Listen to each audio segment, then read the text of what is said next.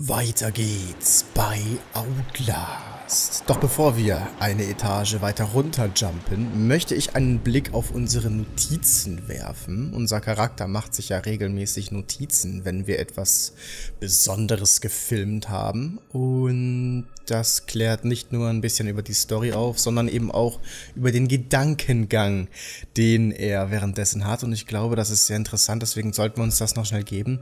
Wir haben zwar ein bisschen was gefilmt bereits, aber die Notizen noch nie gelesen. Muss ich irgendwie vergessen haben oder überlesen haben, dass das auch geht. Wie auch immer, wird jetzt nachgeholt.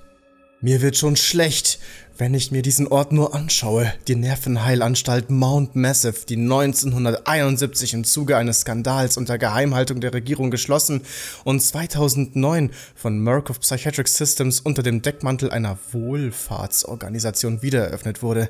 Das Mobilfunknetz brach abrupt eine Meile vorher ab, vermutlich eher ein Störsender als ein verlorenes Signal. Die Murkoff Corporation hat eine lange Tradition, ausbeuterischen Profit als Wohltätigkeitsarbeit zu tarnen, aber niemals auf amerikanischem Boden. Was sie auch immer aus diesem Ort herausschlagen wollen, es muss groß sein. Vielleicht endlich die Story, die ihnen das Genick bricht. Okay, also schon die erste Notiz hat sich eigentlich komplett gelohnt, weil wir hier wieder direkt einige Infos bekommen, die mir so auch nicht ganz klar waren. Ähm, und zwar dachte ich, dass wir eigentlich die, dieser Murkoff Corporation jetzt erst auf, den auf die Schliche kommen. Aber der Miles weiß ja offensichtlich schon, dass die übelsten Dreck am Stecken haben und das nicht erst seit gestern. Okay, gut. Next one. Ich bin drin. Ich bin drin. Überall Leichen, Blut, Verbrennungen. Köpfe aufgereiht wie Flaschen in einer Bar. Tote Murkoff-Wissenschaftler hängen von der Decke. Auf ihren Namensschildern steht Murkoff Advanced Research Systems.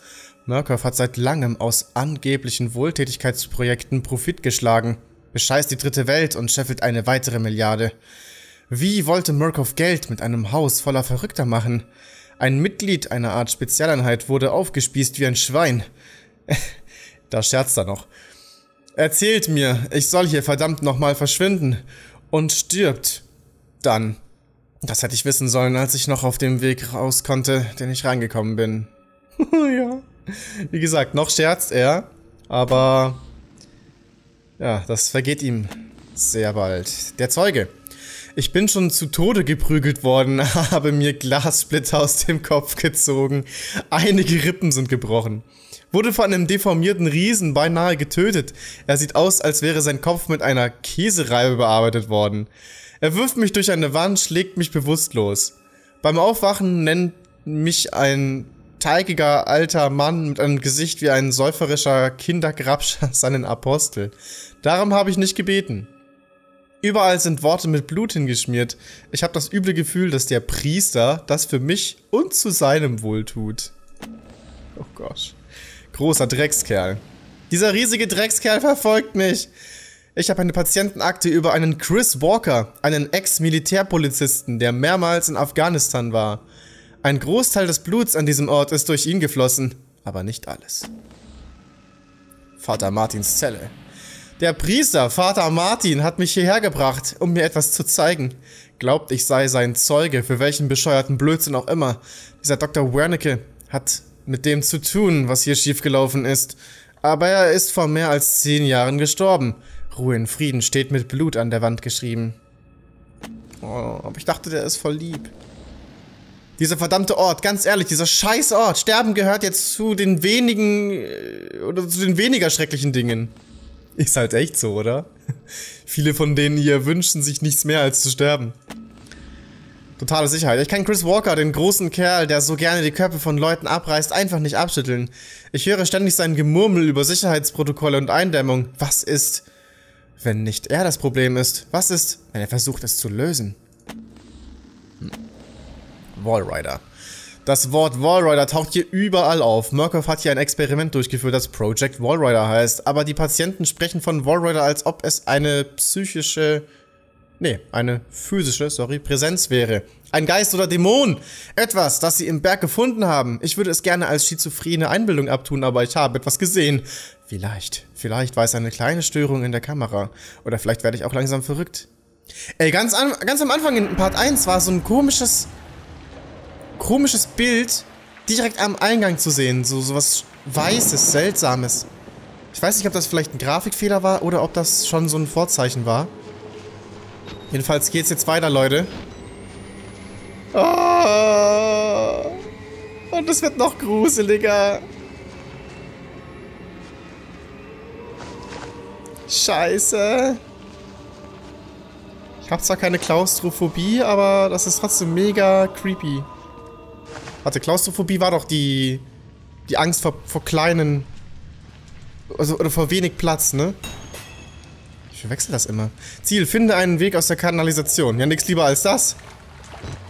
Nix lieber als das. Achso, übrigens, ähm, oben in dem Bereich, kurz bevor ich runtergesprungen bin, in der Ecke war noch eine Batterie, die habe ich aufgepickt. Auf Cam. Das wollte ich noch erwähnt haben. Ach du Scheiße, es gibt hier Millionen Wege. Und das ist schon die erste Sackgasse. Okay, hier drüber. Da ist ein armer Kerl. Und ich glaube, da könnten wir sogar durch. Aber soll ich da schon lang? Ich will nichts übersehen. Und da sind wir gekommen.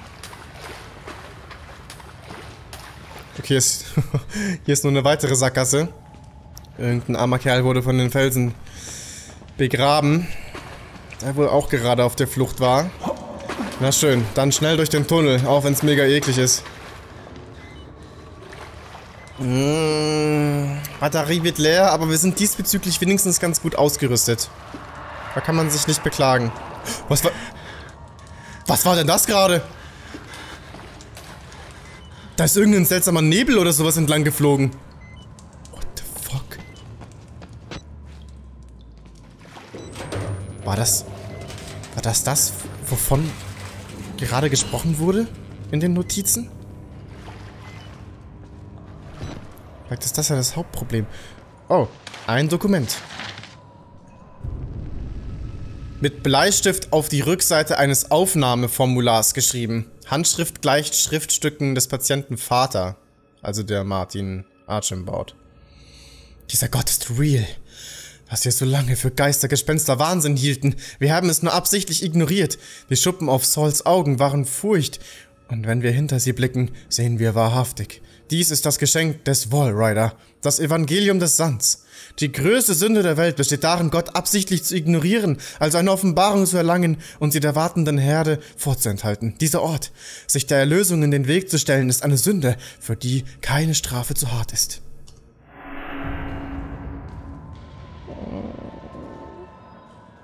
Da war mal eine Leiter. Ein möglicher Ausgang. Was für uns aber keine Option mehr ist. Okay, wir sollen auf jeden Fall diesem Schatten folgen. Der ist da entlang. Glücklicherweise wird es dort drüben auch wieder etwas heller. Braucht man keine Nachtsicht mehr. Kann ein bisschen Batterie sparen. Dreh zwei Ventile auf, um das Wasser abzulassen. Ah, und hier ist eine Karte. Mhm. Oh. Ah, okay. Das ist unser Fluchtweg, aber wir müssen erstmal das Wasser rauslassen, sonst, sonst können wir da nicht lang. Oh, fuck. Ist das der Kettenmann? Ja, das ist er. Shit! Oh, fuck, fuck, fuck, fuck, fuck, fuck, fuck. Er weiß schon längst, dass ich da bin. Ah! Wo soll ich lang? oh, Mann. Oh, wir könnten da durch den Tunnel, aber das habe ich zu spät gesehen. Ah, Sackgasse. Oh Gott. Ich glaube, ich muss sogar durch den Tunnel. Das war ein Riesenfehler. Okay, neue Option. Schnell hier durch. Schnell, schnell, schnell, schnell, schnell. Nein, er hat mich rausgezogen. Steh auf. Und renn. Oh, hier durch, hier durch. Ich weiß gerade nicht, ob ich, ob ich zurückkehre. Von da, wo wir gekommen sind. Nein, nein, nein, doch nicht, doch nicht, doch nicht. Das ist ein neuer Weg. Und er kann da nicht durch, er ist viel zu dick. Oh shit, aber der Moment, als der mich da rausgezogen hat, ne? Hier unten ist jetzt alles nass. Okay, wir haben das erste Ventil gefunden. Mehr als Zufall eigentlich, aber immerhin. Female Drain. Dann gibt's noch einen Male Drain oder was? Was ein kranker Scheiß. Ja, aber ich kann doch jetzt hier nicht weg, weil äh, der wartet doch sicher, oder? Wartet der? Es gibt aber auch nur diesen einen Weg. Naja, glücklicherweise ist er dumm wie Stroh. Oder? Ich habe ihn gerade gehört. Er ist auf jeden Fall noch in der Nähe. Aber weißt du was? Wir gehen einfach... Wir gehen einfach jetzt nochmal hier durch. Oh, da ist er ja! Alter, verpiss dich! So ein Kotzbrocken. Ich glaube, das zweite Ventil ist da, wo er gespawnt ist. Das macht ja auch nur Sinn. Oh, wir sollten vielleicht nicht in dem Wasser laufen, weil das könnte er hören. Ich versuche mich mal hier an der Seite fortzubewegen. Oh, und hier ist, hier ist ja gar nichts. Doch, eine Batterie. Aber nicht das, was ich mir erhofft habe. Wo ist das zweite Ventil? Das muss aber auf der Seite sein eigentlich. Oh, shit, schon wieder hat er mich gesehen. Da war eine Tür. Die, die war verbarrikadiert. Vielleicht können wir das irgendwie lösen. Oh, okay. Ich hab's gefunden. Aber, wenn ich mich nicht verstecke, kriege ich auf die Fresse. Erstmal dran drehen. Schnell. Weil er wird ja auch ein bisschen Zeit brauchen, bis er die Tür aufgebrochen hat. Okay. Okay, okay. Es gibt Spinde. Es gibt Spinde. Ich, ich stelle mich einfach mal rein. Er ist direkt vor der Tür. Ich höre seine Kette. Oh, nein! Ich meine, es ist ja voll okay, wenn er darauf steht, in Ketten gelegt zu werden, aber ich nicht. Wobei? Nein. Jedenfalls nicht von ihm.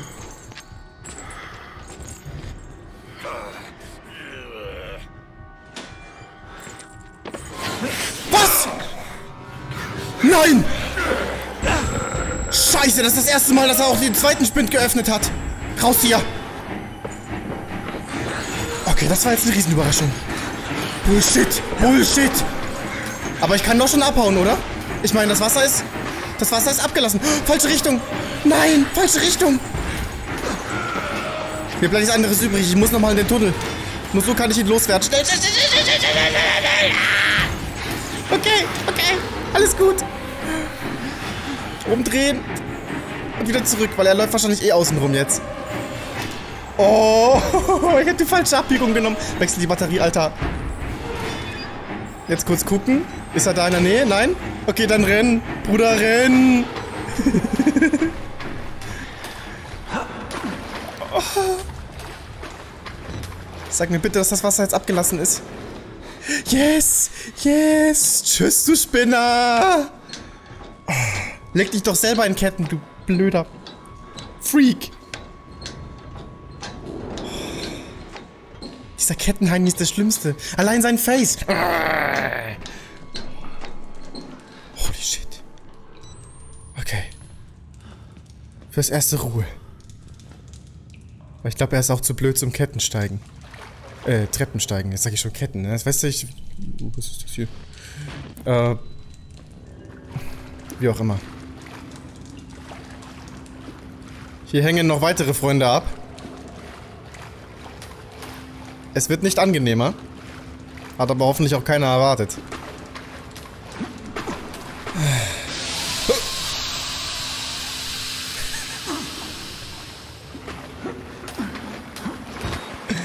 Mann, scheiß mir die Hose. Kommen wir denn jetzt wieder raus? Irgendwie glaube ich, der erwartet mich da oben. Auf jeden Fall sind Leute da. Finde einen Weg aus der Kanalisation. Naja, was meinst du, was ich hier mache? Was ist denn das hier? Was ist das für ein Geräusch? Was passiert hier?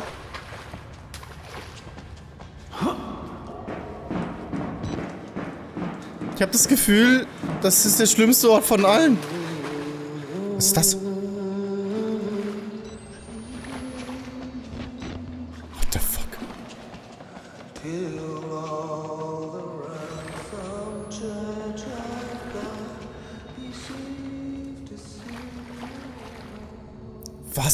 Zum...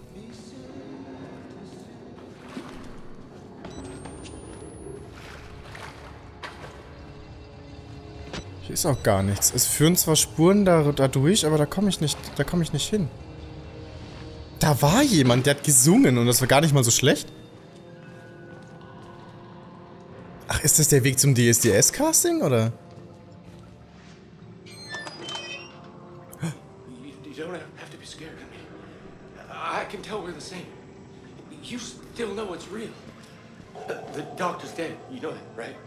Dr. Wernicke. Died before he even started working here. What kind of experiments does a dead doctor perform on living patients? That's the question. Mhm. Ähm. Die Patienten wissen, dass Dr. Wernicke tot ist. Einer fragte mich, welcher Exper welche Experimente führt ein toter Doktor an lebenden Patienten durch? Was ist Project Ballrider? Kranke Scheiße, das, ist, das steht mal auf jeden Fall fest, Alter. Aber mehr kann ich auch nicht sagen. Ich will es eigentlich auch nicht unbedingt rausfinden. Ich will hier einfach nur verschwinden und gut ist. Aber der Typ ist wenigstens echt lieb. Es haben uns ja auch schon vereinzelt Patienten geholfen, so ist es nicht. Aber manche sind halt so durch, dass sie auch eine Gefahr darstellen. Ja gut, welchen Weg soll ich jetzt nehmen?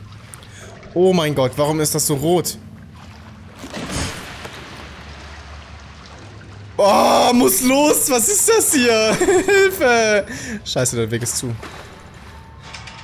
Nein.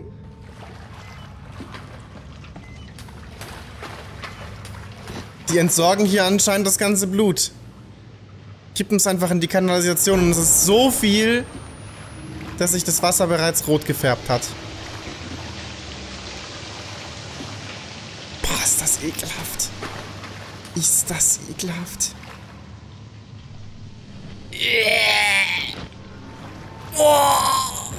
Ne, ohne Spaß. Da muss man gar nicht, da muss man gar nicht noch draufhalten. Das ist so schon eklig. Was zur Hölle? Was zur Hölle? Oh nein. Kommt er durch die Tür?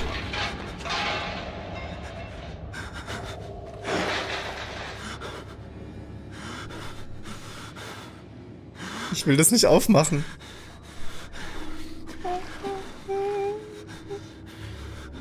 geht eh nicht auf, oder? Besser so. Besser so. Aber heißt, um die Ecke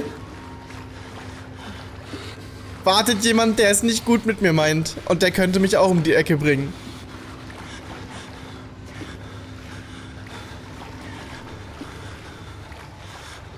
Wenn ich jetzt nach links gehe, komme ich doch in den Raum, oder nicht? Ich kann zumindest gucken, was mich erwartet.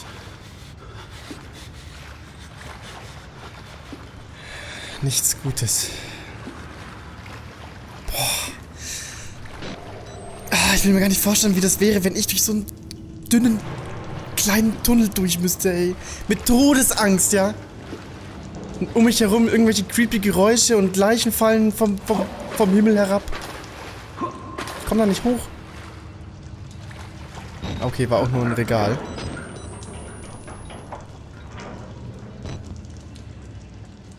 Wieder zwei Optionen. Okay. Ein relativ großer Raum.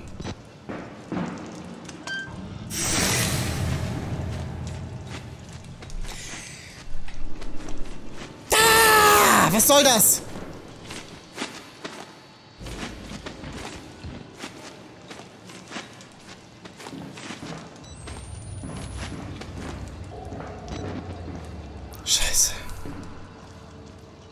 wird so schnell nicht aufhören, ne? ich finde es hier unten aber wirklich am gruseligsten bisher, ist ja auch klar, weil es ist permanent düster. Und dann noch diese Geräusche. Verdammt.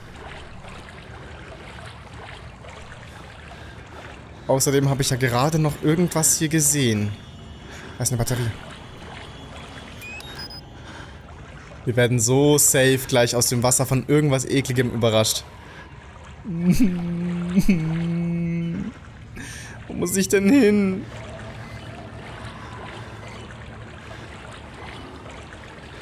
Also kann ich doch da hoch? Ah, hatte ich vorhin schon überlegt. Okay. Huch. Ah, ich bin auf der anderen Seite. Lieber mal die Batterie wechseln. Es ist ein bisschen früh, ja, aber ich fühle mich hier super unwohl. Außerdem ist man im Wasser auch noch so langsam.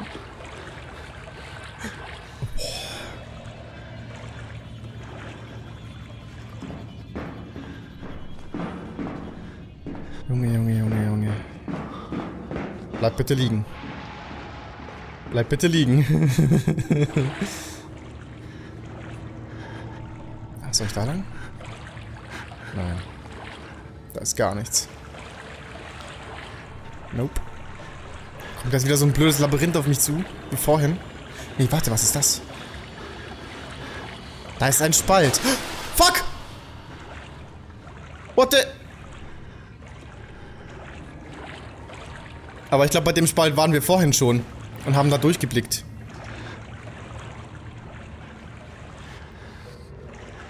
Also solange mich keine mutierte Kackwurst angreift, ist alles gut.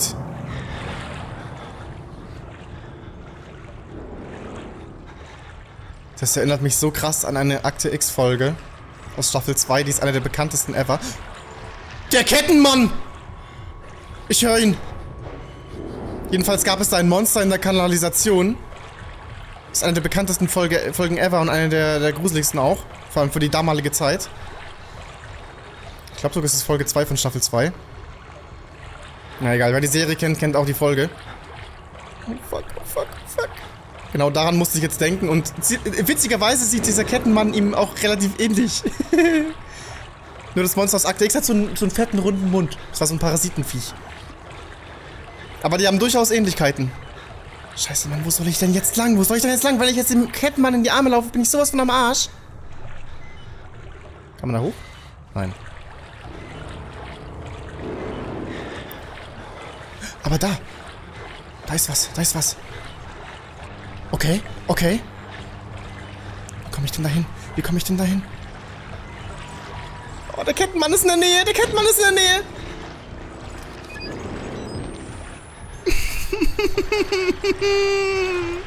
Scheiße. Aber ich muss da irgendwie rauf. Wo ist der Kettenmann? Ah, da, da, da, da, da geht's hoch. Oh shit. Oh shit. Komm schon. Komm schon. Ich sehe ihn nicht. Aber er ist verdammt in der Nähe. Er hat mich gesehen, aber ich ihn nicht. Spring! Kletter! Bin ich safe? Nicht, dass er mich nochmal runterzieht. Oh, muss los. Was mit dir? Scheißegal. Hauen wir ab.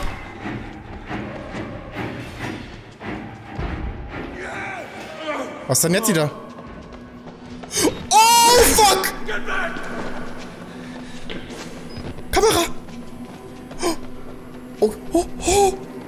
Reingehauen! Der hat mir reingehauen! Scheiße!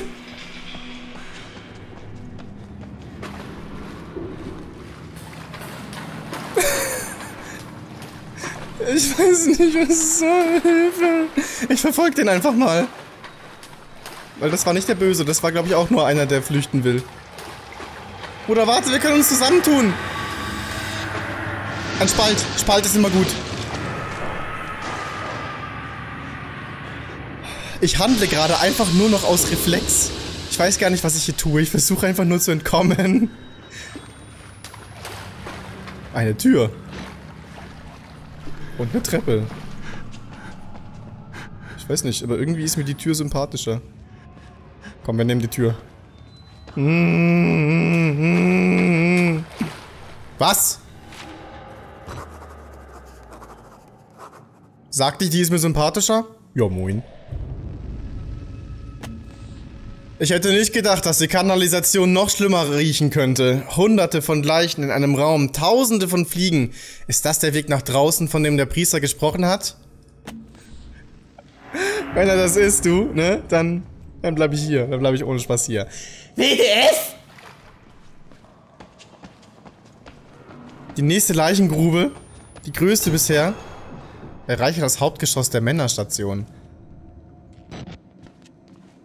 Ach, jetzt check ich das auch mit Männer und mit Female die ganze Zeit. Aber mir sind bisher noch keine Frauen, äh... Na gut, vielleicht kannst du das auch bei der Verstümmelung nicht mehr auseinanderhalten.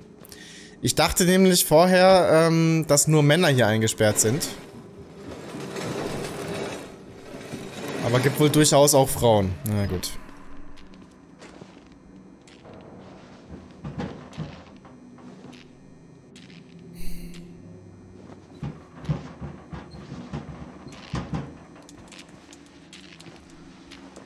Ist das der Typ, der uns helfen wollte?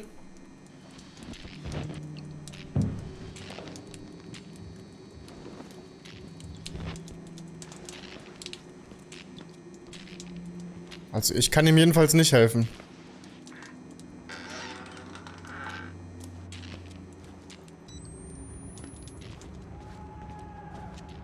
Dieses Spiel ist krank. Es ist einfach nur krank.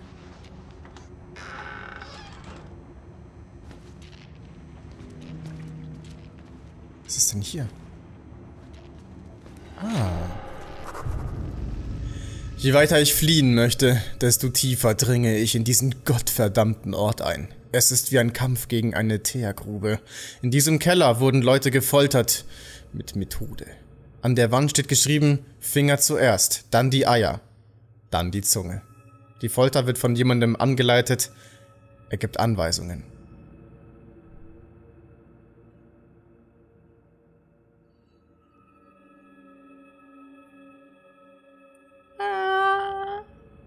Spätestens bei Eier ist, ist Schluss.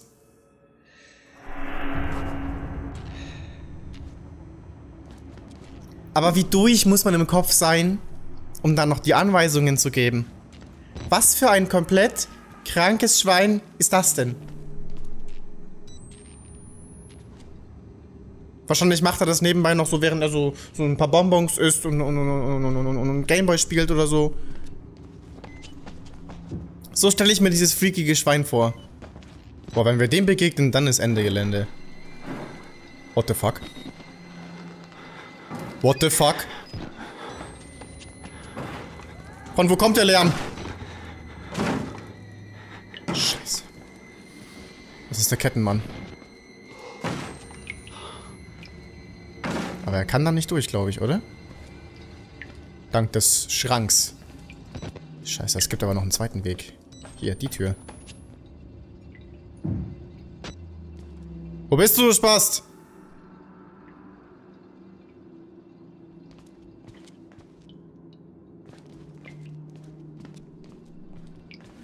Jetzt sag mir nicht, ich muss da durch.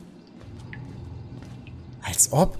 Kein normal denken, dann nimmt doch jetzt diesen Weg hier, wo gerade noch ein Freak dagegen geschlagen hat. Das ist doch komplett Wahnsinn.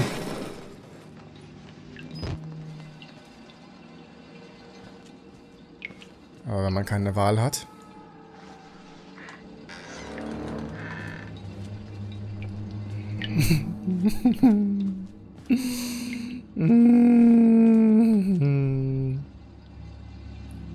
Hallo?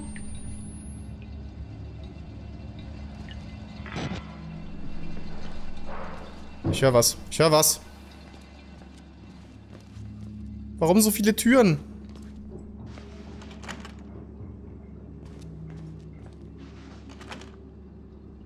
Help!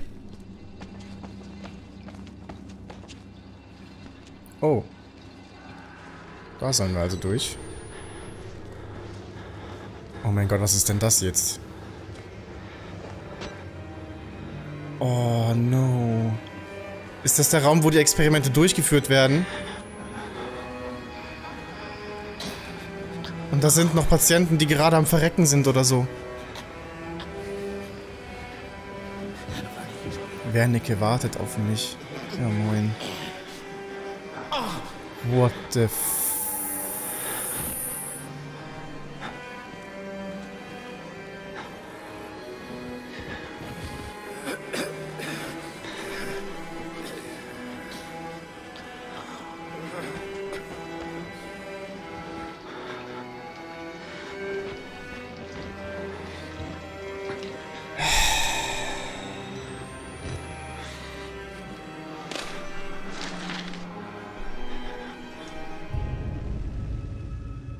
Achso, ein Dokument, ja. Bin schon durch hier, ey. Krankenbericht von Rick Traeger. Dieser Patient hat es leider auch nicht geschafft. Ich habe mein Bestes gegeben, aber ich bin ja schließlich nur ein Doktor, kein Wunderwirker. Und ich bin noch ziemlich neu in diesem Geschäft. Ich lerne die ganzen Kniffe erst noch. Wie auch immer, jemand muss schließlich das Fett von dieser Katastrophe namens Project Wallrider wegschneiden. Wir haben viel Geld verloren, seit die Sache wegen diesem Billy gescheitert ist. Aber mir ist es gelungen, das Personal um über 80 Leute zu reduzieren. Kurzfristig gesehen bedeutet das Ersparnisse bei den Gehältern und langfristig bei den Renten und den Kosten für die medizinische Versorgung. Und ich habe viel über Biologie gelernt. ich war mir bisher nicht ganz sicher, aber jetzt kann ich mit absoluter Gewissheit bestätigen, dass ein Mensch ohne Nieren nicht leben kann. Man lernt jeden Tag etwas Neues dazu.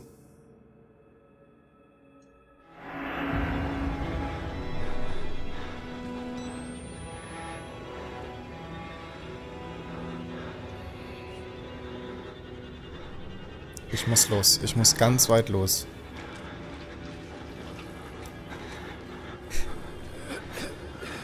So, wie kann es eigentlich sein, dass so eine Scheiße nicht indiziert ist, ey? Jetzt mal ganz ehrlich. Das geht's doch nicht! Irgendwie glaube ich, ich soll da rauf. Geht das überhaupt? Leider ja.